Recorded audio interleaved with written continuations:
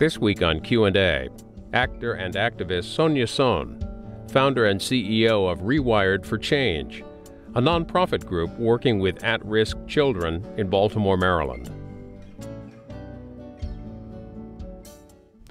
Sonja Sohn, when did you first think about becoming an actress? Wow.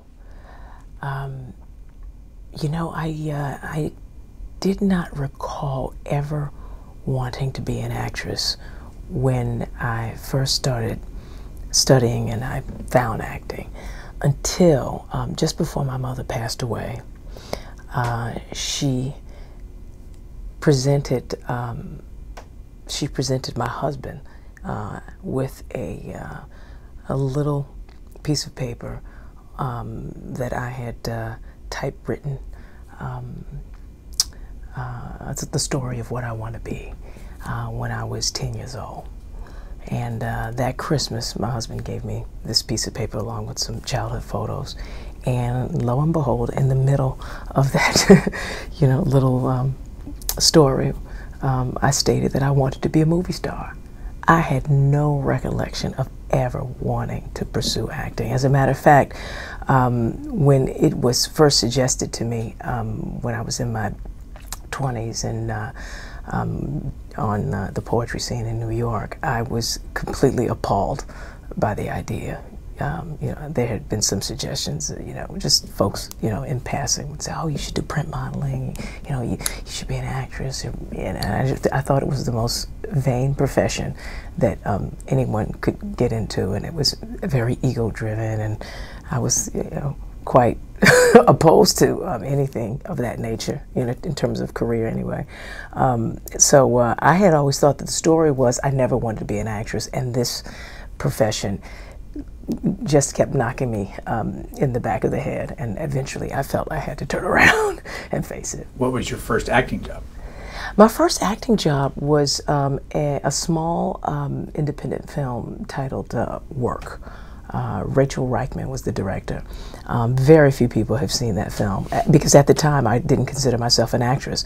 I was a spoken word artist. I was um, had gone back to school. I was uh, pursuing a degree um, in English and had planned on teaching English in a inner city high school and, and writing writing a novel. Um, that was the track that I was on, but um, there was a uh, there was a, a, fellow by the name of Greg Tate. He was a, a, film and music critic for the Village Voice at the time, and he was a friend of mine who had seen me um, on stage quite a bit, and had uh, he thought that I should actually I should. Um, I should audition for this role, and the way he got me to do it was um, simply just. He simply told me that the that the role called for someone with an athletic build. Um, the character was, you know, a, a track star in high school, and I thought, and I played sports in high school, and he just thought, yeah, you should just, you know, just go out for it. You know, he was someone I respected, so I thought, ah, you know, what harm does it do? You know, and I ended up with the role, and so I thought I'd just try it. I have a sort of adventurous nature, and I thought um, I'll try anything once. Um, it was a six-week shoot. Um, how you know how how many times in your life is someone going to ask you to be in a film? So I thought, hey, let's just do it for fun. What year was that? That was 90, oof. Let me see, Slam came out in 98. We shot it in 97. Um, it had to be probably the probably five years before I studied for five years, 92. It probably was 91, 92, I would say. Um, because just after that, I, I, the director um, thought that, you know, she said, uh, you know, you might have something. You might want to look into this. And I said, thanks, but no thanks. I'm going back to school, get my degree. Um, at any rate, um, uh, a year later, it just kept sort of niggling at the in the back of my mind. And when something sticks um, like that with me, generally speaking, I take it as a sign that perhaps I should investigate. And so I took a, a class um, that summer at Lee Strasberg in New York, and um, and a and had an experience, you know, in in the class that was very moving and really um, opened up, opened something up inside of me, um, and revealed to me that perhaps there was another place to put all of um, my experience and my expression, a place that would hold a bit more um, than maybe the written and then poetry would. Because at the time I was the um, HBO series The Wire ran for five years. you starred in it. First of all, what does The Wire mean? Where did the name come from? Oh well, we were we essentially we were. I mean, you'd have to ask ask David that to be quite honest with you. But uh, just I would say simply that you know we we were all, we were running a wiretap the entire five seasons on someone. so um, the wire, you know, comes from that for sure. Um, I don't know if there's some sort of you know symbolic, you know, metaphorical sort of meaning that David your, was intending. What was your part? I played um, Detective Kima Greggs. She um, is, was just she was known to be the um, you know the uh, I guess everybody just knows me as the, the lesbian cop. Um, but uh, yeah, I, I see her as you know more than more than that. You know, I think in a certain way she was the moral compass of the police department. I, I thought I, I think she held all of that we have just a clip from a trailer. It doesn't show much, but mm -hmm. just so people haven't seen it can get a, a flavor of it. Let's watch. Okay. No, no, no, no. You see, I went to journalism school, all right? Northwestern. So y'all can't stay with me on this. Not even. No, no. You're talking like you yeah. some crusty old reporter. Well, excuse me? What? Bitch, you work at a TV station. It's, it's the same thing, all right? Mm. Look, come on. Stop talking. Here we go. Mm. Bring it. Come on, Kima. Come on. Uh, Y'all gotta work tomorrow. Oh, candy ass. That's all I have to say. Mm. Oh. Okay. Okay. I'm with you. All right. Look at Tanya, and she run a damn art gallery. you see? What were we watching? What was that? That was actually um, one of my favorite scenes. Um, you uh, you get into the monologue just after that, where Kima um, talks about um, what um, moved her to become a cop and stay a cop, and and uh, the moment when her connection to the job was really sealed. Um, Cheryl, the woman who was um, speaking most of that clip, uh, was uh, played my. Uh, she, she, was my um, my girlfriend um, in the show. Um, and she was an attorney and did not like the fact that Kima was in law enforcement and really wanted me to wanted me to um, she wanted me to uh, she wanted she wanted me to get out of the you know that line of work and so uh, it was a moment where we we really um, where uh, you realize that Kima's really connected to her job, and her girlfriend realizes that she's very connected to the job and that it means more to her than she may um, realize.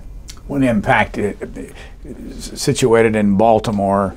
I'm sorry. Wait, wait a second. I just said that Cheryl was a was a, a, a an attorney. No, she she played. Uh, no, she worked at a, a television station. She wanted Kima to become an attorney. That's what it was. She wanted Kima to study law. But this program was centered in Baltimore. Oh, absolutely, centered in Baltimore. Yes. At the harbor, a lot of it was around the harbor. Uh, actually, it, it, a lot of it did not take place uh, around the harbor. I saw some of season yeah, yeah. two. So season I, oh oh oh right right right no season two absolutely the ports you're right you're absolutely but, but right. let me just the characterize ports. it quickly and you sure. you tell me how wrong I am. Okay. Lots of smoking, lots of drinking, lots of swearing, lots of real world language. Mm-hmm. What I mean, what was the reaction that you got during these five years with this program? And when you say reaction from whom? Just the world. I mean, as, oh. this is a. It seems okay. to me it was a rough. I mean, it showed you what I assume what mm-hmm. life is like up close and personal in that whole world up there. Mm-hmm, mm-hmm. You know, I. Uh, there were there were there was certainly a population of people who could not watch the show. It was too raw and too real and um, and painful um, for them to see, uh, either because they came from that environment um, or because um, you know the, some folks uh, use television as, uh, as something to sort of unwind with, and uh, um, so they, they didn't particularly care to um, spend their time um, in that world in that way. Um, however, many, many, many, many, many folks felt as though a story that's not been told truthfully, clearly, um, and without apology was being told. And I'm talking about uh, folks in law enforcement. Um, I'm talking about judges and attorneys, um, politicians, uh, as well as folks um, whose lives were depicted by some of the um, the street characters. Um, they felt as though uh, someone was finally getting it right. We grabbed some testimonies how we uh, saw you for the first time mm-hmm. Uh, when you testified up in I believe it was up in Baltimore, uh, the Attorney General's National Task Force on uh, children exposed to violence. Mm-hmm. Let's just watch and we can catch up with your story. Okay. I remember lying in bed on alert late one night as I heard an argument brewing in my parents' bedroom, only to be shocked by the deafening sound of my mother's jaw being crushed. I remember watching in horror as my mother's head lay on the chopping block of our kitchen counter while my father held a large butcher's knife to her throat as she cried and begged to be put out of her misery. My mother used to tell a story of how I stopped an argument between her and my father when I was a toddler by telling my father to stop it. Don't make my mommy cry. I was two years old. That incident kicked off a pattern of my believing that I had some control over and some responsibility for the situation. How hard was it for you to do that? Well, it's it's uh, it's been many years and a long process of healing. So I would say at this point in my life, you know, I'm there is there is some distance from the from the you know the emotion and the sort of trauma of all that.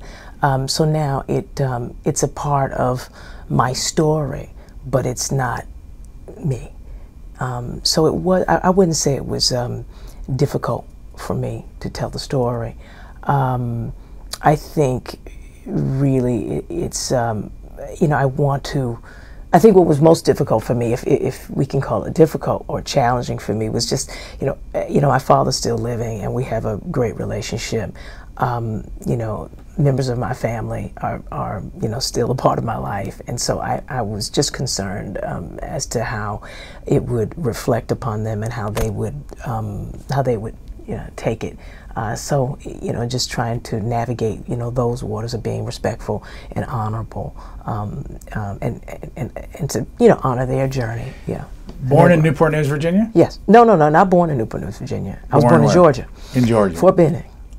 Father African American, mother Korean. Mm-hmm. What's what's that impact on your life having those two backgrounds?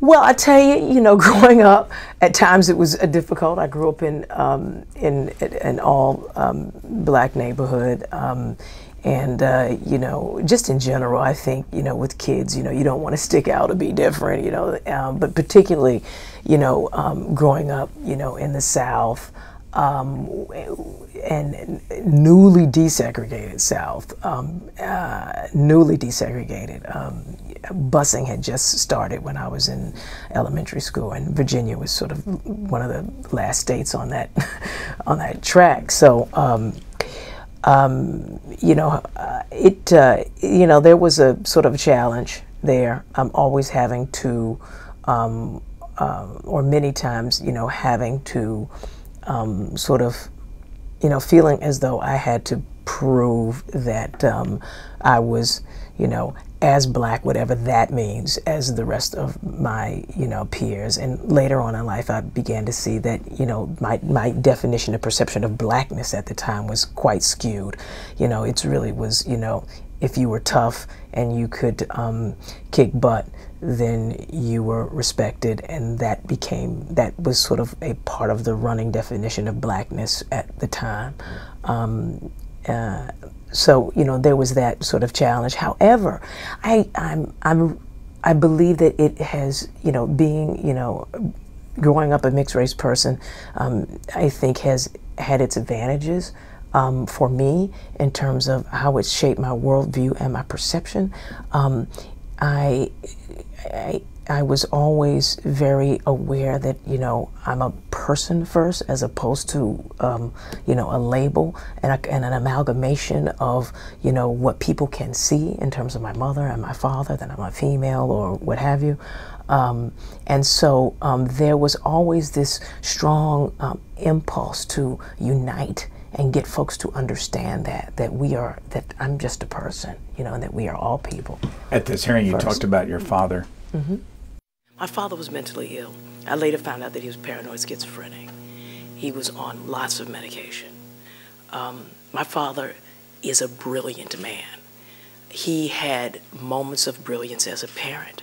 My father, you know, there were phases in our life where we tried to have Sunday dinner. Now, it might have been a tyrannical, um, nightmarish affair at times, but there were times when there was laughter at the table. My father thought he should teach us all how to play chess. By the time you were six, you knew how to play chess. Um, he had these moments of brilliance, but he had these. There, there, there came a time when he just turned into a monster, and I could no longer justify loving him. We also learned that your mother died some time ago. Mm-hmm. When was that? My mother died in uh, 98. Again, uh, when you go back in your own life, you grew up in, in Newport News. Um, you talk about you were into the drugs at some point. How did that happen in your life? What, what, how old were you, and why did you, why were you attracted to them? Wow. Um, you know, um, well, I guess the story sort of speaks for itself. You know, after a while, it becomes, uh, you know, reality is a bit tough to take.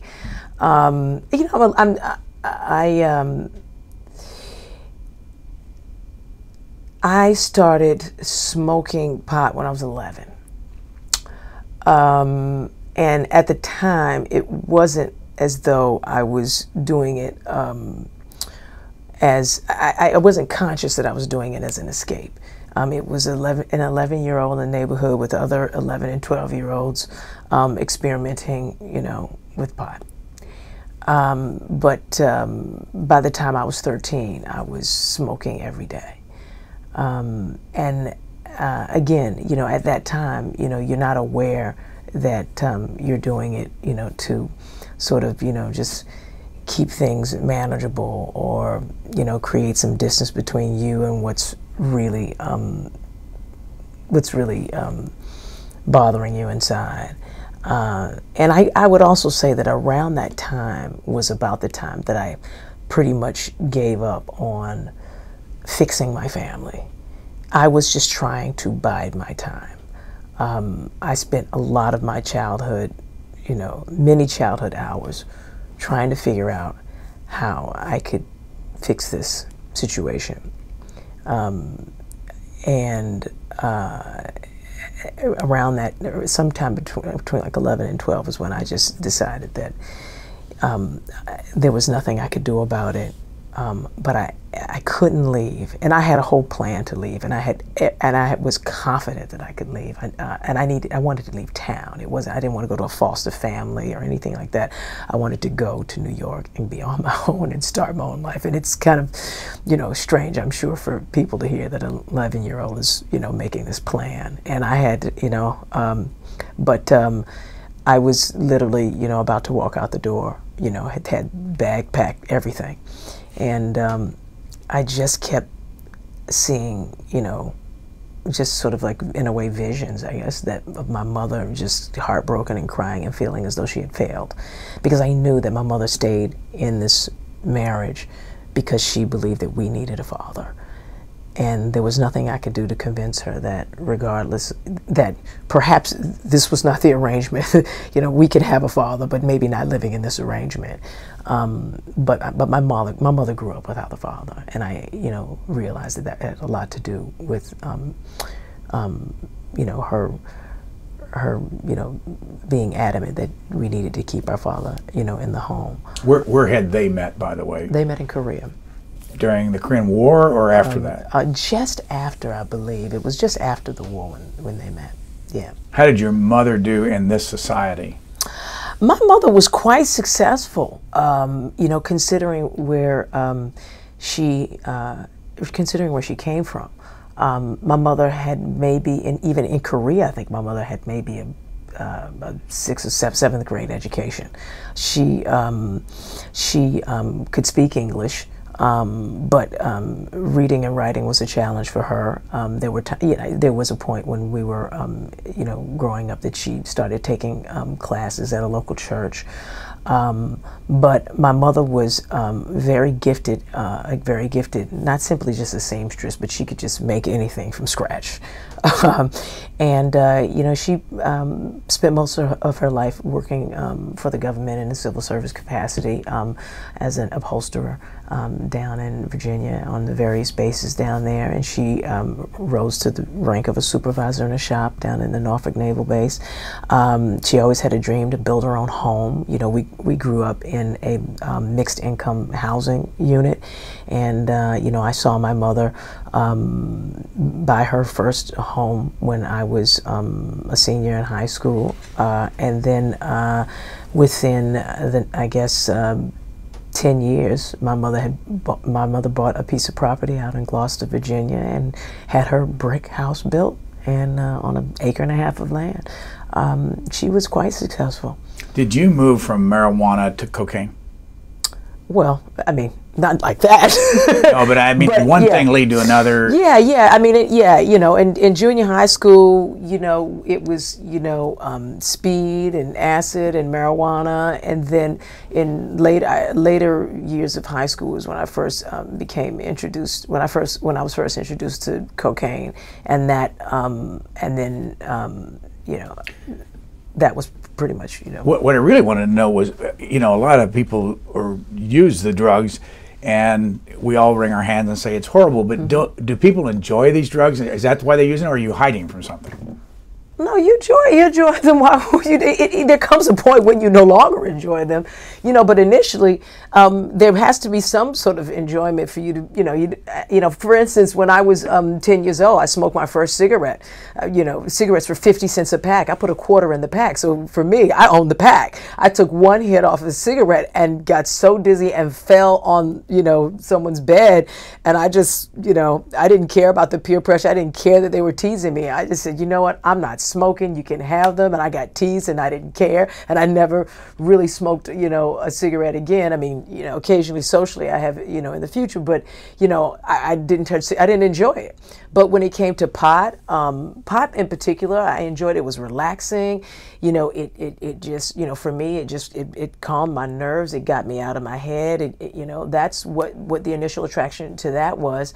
Um, you know, drinking was never something um, that I really took to. Um, it was something that, um, you know, you know, eventually, you know, when I when I got into cocaine, drinking was something that became a little bit of a balance for the edge that the, coke would give. In the years that I started to not like it, and I started to see where it was taking me. Um, but um, how'd you get out of it? Um, I got out of it, you know, initially, you know, through you know a therapist, through meeting a therapist. Um, my um, first husband. Um, um, saw that there was a problem. Um, we were having problems and saw there was, there was a problem and suggested that we go to therapy. And uh, this was the first time I'd ever tried therapy, and I, I went to therapy with him. And uh, after our first session, she, you know, she essentially said, "Listen, you guys don't, you guys need individual therapy before we even touch couples. Well, I'll see you separately." And when I came back to see her, she, um, she completely pulled my card, and no one had ever been able to pull my car. No one, there, I had written for three years in my journal that I was not living up to my potential, that, you know, no disrespect to housewives, but that I knew that I was, I should be doing more than just um, kind of, you know, raising my kids and you know i had a great life. You know we had a middle class you know lifestyle.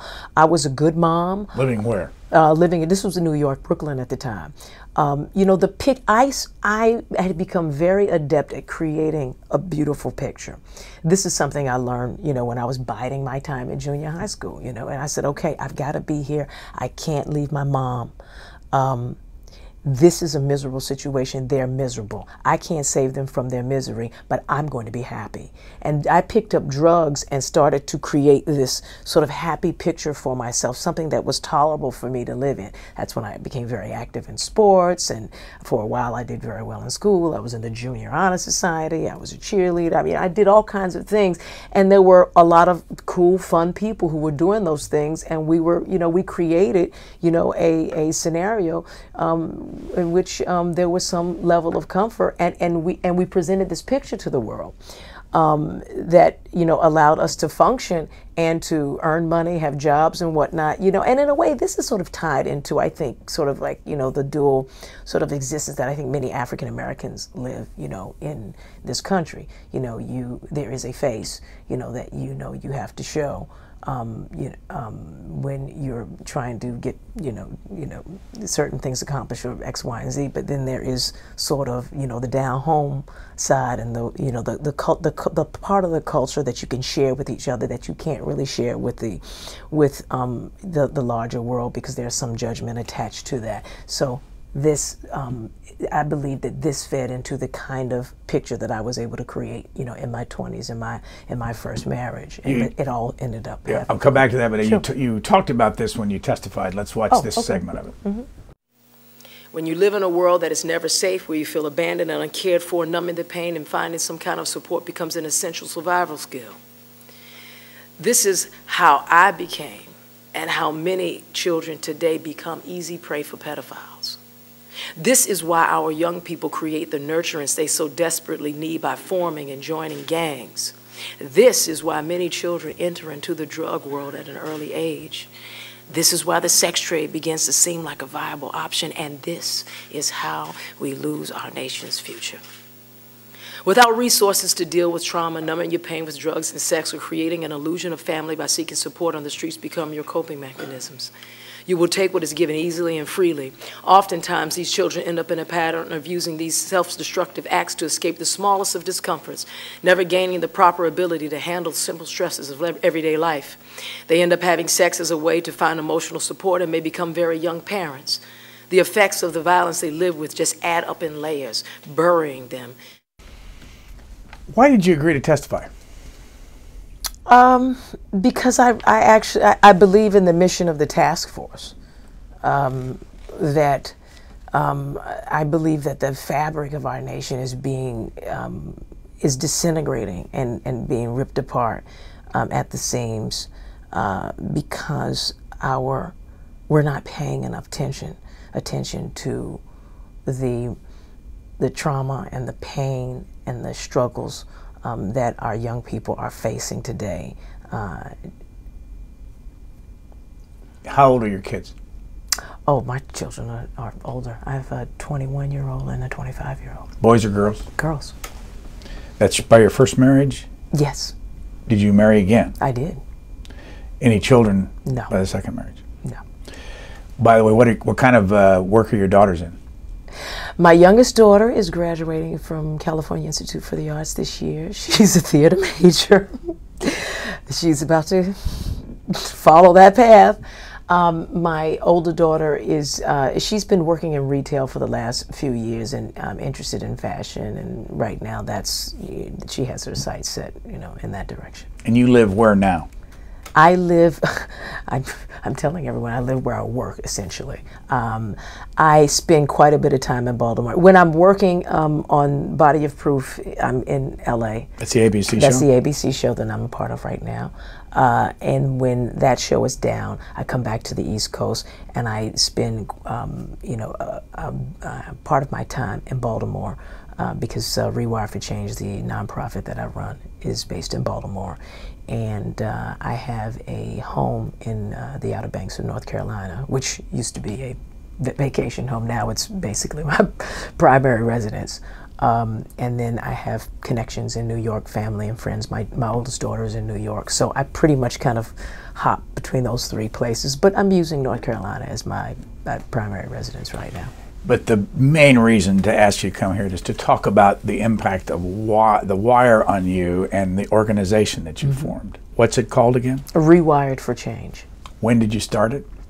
Uh, the seed I guess the vision came to me in 2008, and then 2009 is when we officially started, and that's when we um, I, we got our 501c3 in 2009. What's it do? Well, Rewire for Change, um, we, you know, it's essentially our mission is to um, to support, em- empower, and affect the lives of high-risk youth and their families and the communities in which they live. Uh, we started by um, offering a um, our pilot program, Rewired for Life, um, which is a program that was um, geared to high-risk young people who had been arrested before, and we used um, the Wire as a as a the the Wire the show as a springboard for discussion and uh, and to um, awaken them to the possibilities of personal transformation. How did you raise the money? Oh gosh, how am I raising the money?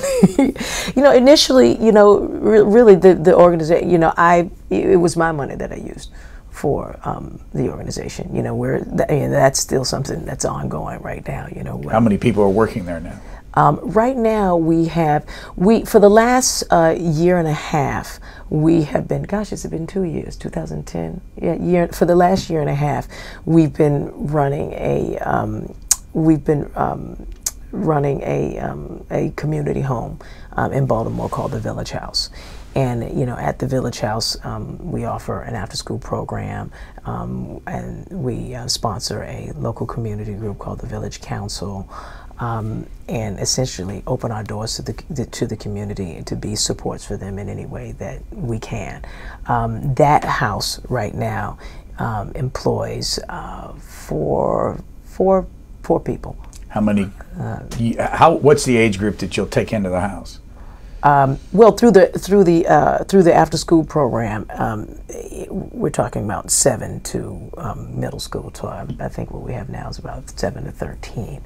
Um, and then we were running our Rewire for Life program out of there, but right now Rewire for Life program is down because we're revamping the curriculum and we're going to reintroduce it. It's been it, that was a two-year pilot, and we learned a lot, and now we're actually revamping the curriculum and and putting out the official Rewire for Life program later this year. So that's down, um, and then you know, and, the, and then the community. One of the things that we we um, discovered um, after uh, after offering the Rewire for Life pilot program. By the way, what is the difference between uh, Rewired for Life and then you have the? Oh, Rewire for Change is the name of the organization. Yeah. Rewire for Life is the program for high risk young people. Okay. Okay. The Village Council is the local community group that's sponsored by um, by the Village House, and the Village House is an initi- initiative of Rewire for Change. Um, one of the things we we we we, we discovered when um, through um, uh, our work with the pilot program was that if our young people had to go back to families and communities that were broken and not unified and not um, and not healthy, then it made their um, it would make their transformation much more challenging, and that there was no way to sort of isolate a population and truly help and truly assist them to the to be um, truly we- we're looking at we're looking for real healing. We're not looking for okay you get your GED you get a job then you're set you're off the streets. That means something to us. But what has unfolded is that what we want to see is a deep level of healing in the life of a young person, but also in the lives of the entire community. And so, our overall mission really is to uplift and empower communities of folks to re, re to recreate community in a way that we have not seen in um, underserved communities since I was young in the 70s. statistics. Uh, I just saw this in the paper the other day. 80% of African Americans don't qualify to be in the military. That was the headline. Interestingly enough, 70% of white people, uh, men don't qualify and women to go in the military. And I don't know the, I mean, it's, it's a rather large statistic because of being obese and all the other things, the mm-hmm. drugs and all that. And then the statistic that I know you're aware of that roughly 40% of the American people have children out of wedlock. Mm-hmm. 70% of the black community has children out of wedlock. Mm-hmm. How, how did this happen to us? And how do you get out of it? Hmm. You know, that's a big question, Brian. I thought it was small. you know, I, you know, that's a big question. I mean, and, and, how do we, you know, I mean, I have certainly can have an opinion about it. I'm, I'm no one's authority on those issues for sure. Um, but, um, you know, I think, I think this boils down to something really simple, but, um, that, you know, it, you know, you say 70, um, percent, you know, I, I, actually was not familiar with that, um, with that statistic 70% of African Americans have children out of wedlock. Um, now, I'd like to know how that's broken down within age groups. I think that um, would inform, you know, my answer. Um, I think a lot of them are young births. Younger. Yeah. You know, well, I talked about it, you know, in, in the clip, you know, where, you know, we all, you know, I, I, the deepest need, I believe, of every human being is to be loved. I mean, that's a, that's a core need. You know, that's something that, you know, as an actor, you know, you've got to know that, you know, any character, somewhere in there, you know, is a need to be loved.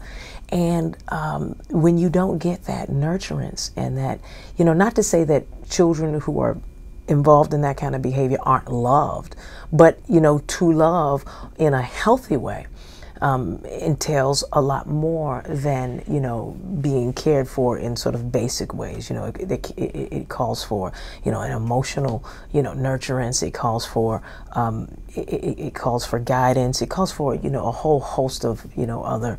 Um, uh, you know aspects that um, that you know uh, a young person needs to grow up healthily. And when you don't have those things, you know you reach out any way you can to feel that and uh, and sometimes it's just touching and you know, and then one thing leads to another and you become invested in a you know you start to you become invested you know um, in another person in an unhealthy way. You know things that that you know by the time you're in your late teens or early 20s things that a healthy young person a person who's been nurtured um, properly, fully, and wholly, um, you know, they're at the point now where they can they can self nurture, where they can go inside, and there's confidence, and there's their their principles, and their values, and their things that they can hold on to and anchor themselves to. They don't have to anchor themselves to another person, attach themselves and enmesh themselves with someone else to give them what they, you know, are lacking inside.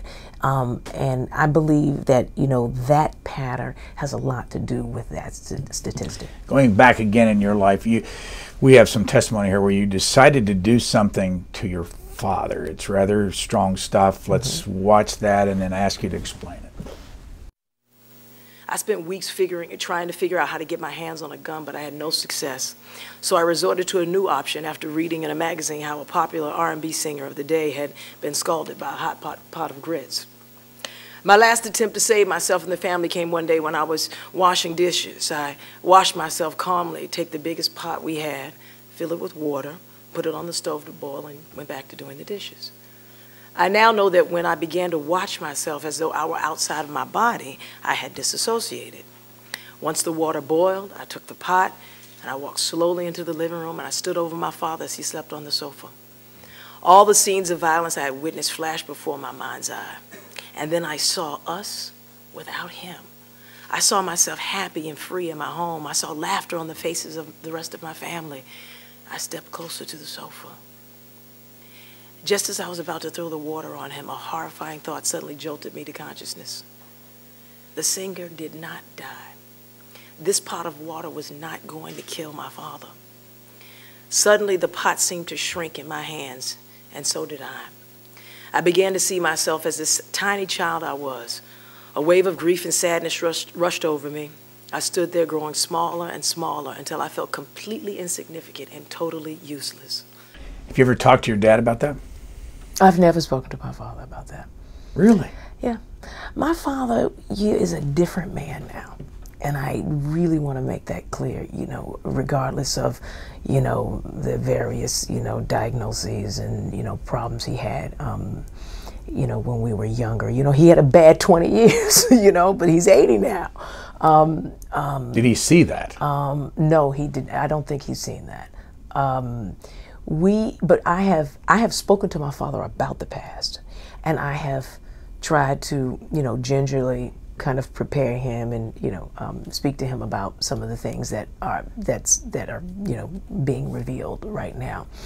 Um, but you know he has shared with me that he would rather not go back and revisit you know that time in his life and that um, he's a changed man, and um, and he and he'd like to sort of keep his focus on you know where he is now, and I need to respect that, and um, and that's why it's it's it's always a little uncomfortable when I see this you know I see this stuff coming out in the public because you know I, I care about my father very deeply, and um, I I want to make sure that folks understand that a life is very long, that redemption and transformation is possible. It happened in my life, it happened in the life of my father, and my family is not the family that I grew up in anymore. It is a different family. But when we read about your life, for instance, you were molested by your babysitter. Mm-hmm.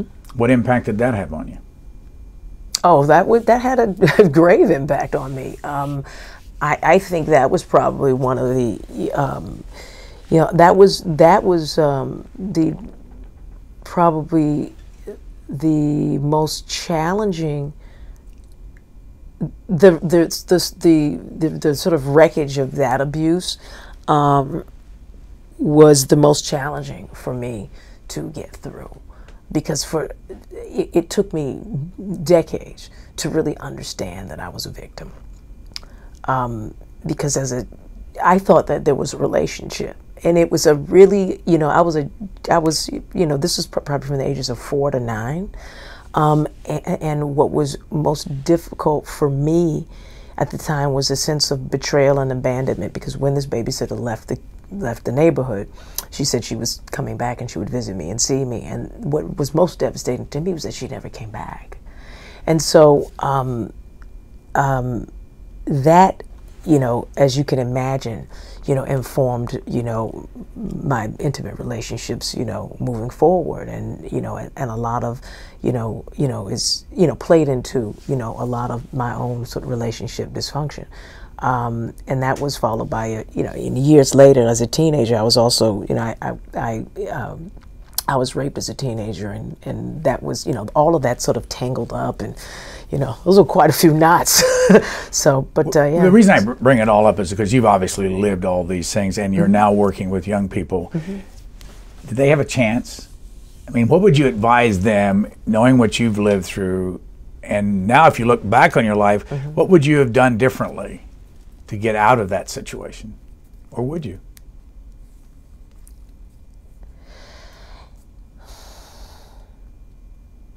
I did the best I could in, with the, you know dealing with the circumstances. Um, um, you know, within those circumstances, I definitely I did the best that I could at the time. Um, so I wouldn't say there was something I would do differently. Um, you know, there were things that had shaped my mind to make the kind of decisions that I, I was making. I was, you know, incredibly bright. Um, I, you know, but because I didn't somewhere inside, despite all the sort of accomplishments and the picture that I created in high school, um, you know, active in sports and, um, um, you know, basically had a B average. You know, I wasn't studying. You know, I could make a, you know, I could have a B average without studying and getting high every day and working. Um, and you know, in all those activities, um, I had decided not to you know, I was a straight A student pretty much in elementary school, but I decided that, you know, what was all that work for? Um, you know, it, it, if I wasn't, if I couldn't be happy. Um, and so, um, you know, I believe if I'd had a mentor in high school, I think I looked like the kid that was going to be fine. So no one really no one thought that I needed, you know, a mentor of, of any sort. She's going to be fine. And, and they were right, essentially. But I believe that, you know, if I had a mentor who could see beneath um, the surface that you know I would have gone on to um, I was absolutely would have you know finished college. I probably would have gone to you know an Ivy League type school and you know because there was this sort of idea that you would be a lawyer or, or, or something uh, down the down the line. But I threw that away um, when I gave up on when when when happiness really was was my what I was striving for. But getting back to the, the what I would say to young people um, in these situations. I'll tell you what really led me, um, got me to the light, you know, brought me to where I am today. Because if it can happen for me, It can happen for every single young person who is struggling with the issues that I was struggling with, and even worse. I have I, I have friends who have stories like mine, um, who have you know who have um, who are successful now, um, personally and professionally. Um, and the thing that I think we all have in common is that we were that unbeknownst to ourselves, we listened and nurtured the we we nurtured the ability to listen to our inner voice. You know, there is an inner voice and an intuition, if you want to call it that, um, that I strongly believe is connected to something much greater than myself and other people. And it is knowing when to move, when to fall back, you know, when to jump off a cliff, even though it looks as though you're not going to make it um, because that voice will never fail you. Getting to know that inner voice and following it in every instance that you can. Um, you know, this is the thing that I see um, that folks who come from that background, who find success, um, have, um, it's a muscle that they have um, trained and nurtured and that is very strong within them. And that's something that you know that's that's what you know we'd like to teach and like to you know you know in the pro in the Rewire for Life program what we'd like to give these young people. Do kids have any two girls have any trouble like you had? My oldest daughter probably had the most challenges um, because she when she was born I was still using. Um, I um, I I changed my, I did my sort of one, my 180 in my life um, when she was about um, four or five years old. And then, you know, those early years, you know, when you, after you've done the 180, everything doesn't just clear up. I mean, that's, then you're putting in all that hard work. And while you're processing and going through, and all this stuff is being drummed up, you know, and you've got to raise kids, um, you know, and, and be, you know, in a marriage and you've created a bit of a mess there. And, you know, there's, it's, it's a messy process. And so, you know, the people around you get splattered with some of that. And it's, you know, which is, you know, unfortunate, but it's a part of the process. And, uh, and I did it for myself but I did it. I was inspired. I really moved to do it, you know, for my children because I saw what I was creating in in the home. I saw that I was becoming that the, the, the type of entity that my father had become in our home, and that it was affecting my older daughter. So my older daughter has had to, you know, work through I think um, quite a few more challenges than my younger daughter. My younger daughter was was born just before I turned around, so she has seen, you know, the best of me. Um, whereas my oldest daughter definitely was affected by. Do you talk to them about this? Absolutely. We're quite honest. We, they, I, I probably talked too much in the past. I think I've probably spoken too much with them about it. But, but I think in the end, we, we're very transparent. As I was going through my process, as I was healing, you know, you know, if, if, you know, there, you know, if I was not, not. Um, you know, if I was having a rough time, you know, with the girl, you know, in the home and you could see it and I knew what was happening, you know, I would share it with them and say, listen, mommy's having a rough time. Here's some of the things. And as they became older, I would, I would, I would be able to, you know, I was able to share more and more of my story with them so that they could understand, so that they, because I wanted them to be able to do, to, to, to take that journey. Um, you know, I think every person, regardless of, you know, how you grew up, you, there's some sort of journey that you have to take in terms of getting to know yourself and, um, and I wanted them I wanted them to know that that's important in life that that, that is that is a part of, of, of living a full and whole life. One of the rehabilitation clinics in this country, I remember a statistic coming from them that 83% of the people that go into rehab don't turn it around. Mm. That means that 17% do, and that's drugs and alcohol. Um, what do you think of those statistics, and how did you did you go through uh, detox or did you go through any kind of a of a 28 day program or did you just do it on no, your own? No, no, I didn't. Uh, I didn't go through um, a, a, program um, like that. Um, you know, I had a really supportive husband at the time. Um, and um, we could afford therapy, and uh, I was in therapy, and um, I, you know, for some years I did um, get, you know, the help of an outside support group, um, and I, and and to be quite honest with you, you know, within that support group, you know, I, all I saw around me was successful uh, lives, you know, a, a, great number of people successfully turning their lives around.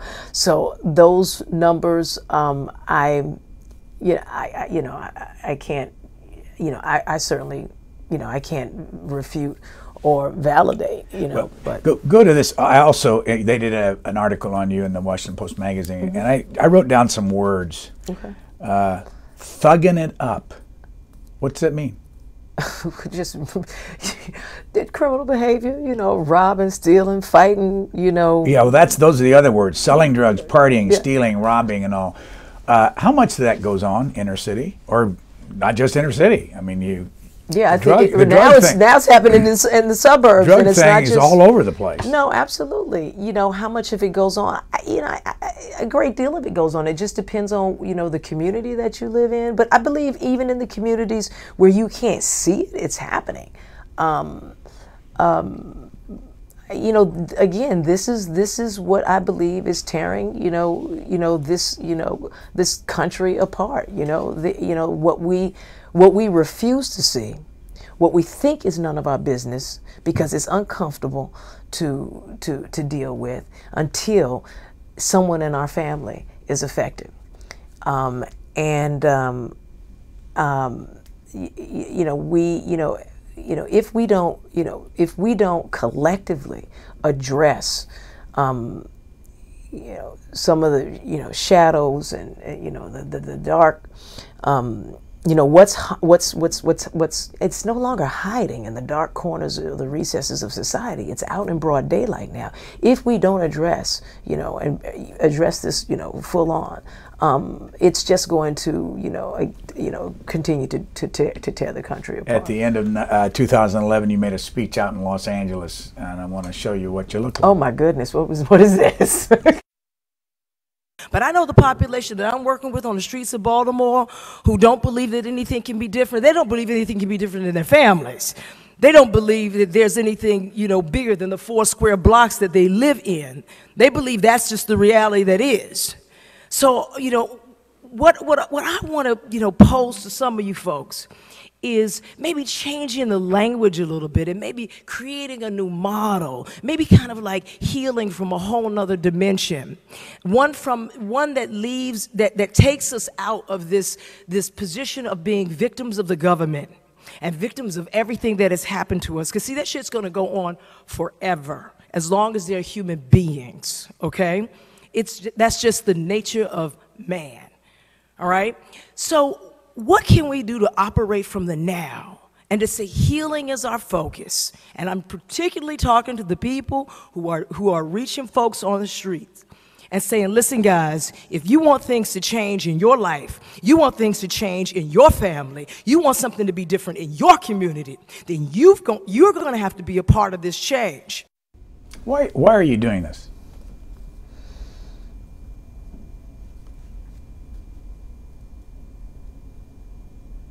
Because it's who I am. I just it's it's it's it's um, it's my life's mission. All my life, I've been I've known I was born to for some purpose. This is what's coming through, and um, I'm simply trying to honor that. I'm simply just trying to honor what's true for me. So I'm a kid now. I'm about uh, 13 years old, mm-hmm. and I'm doing what you used to do. I'm smoking pot or maybe move to speed or cocaine or whenever you do that. Mm-hmm. And I'm robbing and stealing and all that stuff. Am I robbing and stealing, by the way, to get money to buy the stuff? Is that why I'm doing that? Oh my gosh, rob, a lot of these young people are robbing and stealing so they can have food, and so okay. they have clothing. But but how do you get the money for the drugs, by the way? How did you get it in, in your day? I sold, you know, I worked. I worked and I sold drugs. My brother was a um, was a drug dealer in the neighborhood, and your so, brother was killed. Yes. How? When? He was uh, murdered in uh, North Carolina in 1988. Because what were the circumstances? oddly enough, my brother was down there trying to make a change. He had moved from Virginia to North Carolina. Um, my father was down there, and he was really trying to trying to trying to make a change. And uh, he had um, he was living in my uncle's home, and next door was a young woman who uh, who had an abusive boyfriend, and from time to time he would talk to her, and um, the boyfriend um, basically was jealous and told him to stay away from his girlfriend. And my brother wasn't going after the woman; he was just befriending her and speaking with her. And uh, eventually, he killed him because of that. I started to ask you, I, you know, I'm a 13, 14 year old. What would you Uh-huh. tell me, and what do you interact with these kids at the University of Maryland, where this is, or up in Baltimore, where you're doing this? Well, when we were when we were running the pilot program, I was I was you know I was a part of the facilitation team because it was important for me to see what was working and what wasn't working, um, but also because I I have such a passion for young people, and I um, particularly young people who are caught up in you know those cycles, and um, and um, and such a desire um, to see them transform and overcome. Um, it's you know that work I love. I love doing that work so much. However, I just don't have the capacity, you know, in terms of time, resources, and and just um, you know, there there. And I've you know in this line of work, I've I've seen a lot of folks who've been very well trained to do that kind of work, and it's been better for me to sort of empower them to do that work. Um, but um, you know, it's very you know preaching preaching to these kids and talking at them is not the way that they're going to make that shift. The shift is experiential. It's something that has to happen internally. And so, you know, the gift of being able, you know, the gift of those who know how to um, guide those young people, you know, uh, you know, through that transformation is, you know, this gift of knowing, you know, you know, when to fall back and allow them to express themselves and sort of make the mistakes that they need to make without condemning them and without abandoning them and um, always knowing that, that you're, you're there to support them regardless because it's unconditional love that these young people need to need to need to connect to on a very deep level. That i'm not bad there's nothing wrong with me that no matter what i do that I, i'm still I'm, I'm still worthy. That's one piece. And then there's finding the curriculum that will that allow that give the, I think a really I think a really good curriculum allows these young people to explore themselves to get to know themselves and explore a lot of issues and, and, and raises awareness about things that they may not know about but at the same time understand that they have that what they have inside their thoughts their feelings their opinions their experiences are very valid and very valuable Five years of The Wire on HBO. Mm-hmm. You can buy it in the stores. You can watch it on demand. Some of the episodes. But if they want to, our audience wants to see you today, what time, what day, what's your character, and then I'll let you go. Well, you can see me these days on ABC, um, ABC's Body of Proof.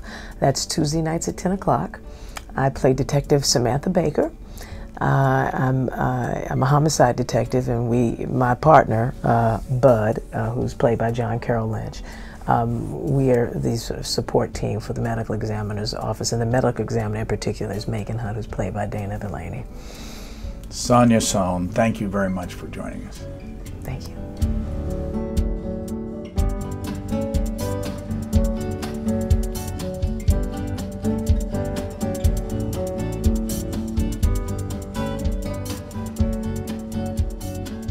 For a DVD copy of this program, call 1 877 662 7726. For free transcripts or to give us your comments about this program, visit us at qna.org. Q&A programs are also available as C-SPAN podcasts.